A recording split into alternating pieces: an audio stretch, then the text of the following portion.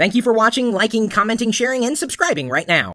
So when setting up a, a computer, uh, you need some kind of storage device, typically, and uh, it's been known that a user could set up a, a RAID. Uh, I guess you can't really call it a RAID array because isn't that somewhat redundant? Because I think array is is the A in RAID. It, it is somewhat redundant. As it turns out, you can have RAID without doing an array of drives. Oh. Okay, so, so so let's let's dive into RAID zero versus RAID one. So, RAID 1 is mirroring, which means that you have two drives and you put the same things on both of them. The advantage of that is you can say, I'm going to write this data, and then if one of the drives fails, it will still be good. So redundancy. Right it also has the advantage that you can read from it twice as fast because while it takes twice as long to write and it'll be slow for writing video to a disk or things like that because you've got to write it to two places. When you read you can say give me the first bits off of this drive and the second bits off of this drive and so you can read twice as fast.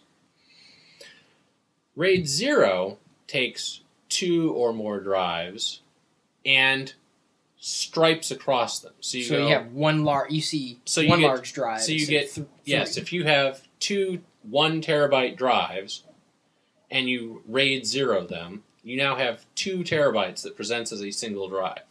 And if you had a five drive, you could have a five terabyte drive, and it would be five times as fast for both reads and as and for writes as a single drive. So it'd be a lot faster. The downside is if any one of those drives dies in a RAID 0, the whole thing's kaput. Wow. So all of your eggs are in. Why would you do that? Why would you do a RAID 0 then? So when you're capturing HD video uncompressed over HD SDI, huge. You're, you're talking about hundreds of gigabits per second.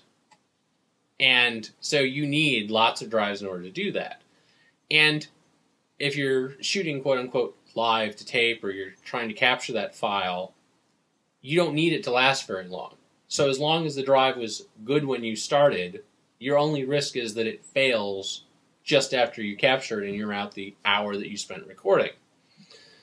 The other possibility would be that you've got a database that the data doesn't change a whole lot, but you want to read a lot. So you set it up and you've got your database for doing all the reads out of the RAID 0, but you've got archived data on a more redundant system somewhere else. So it's really take the risk, get the speed.